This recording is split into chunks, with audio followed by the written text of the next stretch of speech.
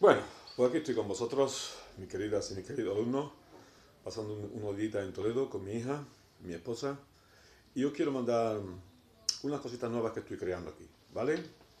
Para que no se vaya cortando eh, la subida de vídeo, ¿eh? A ver si os gusta. Bueno,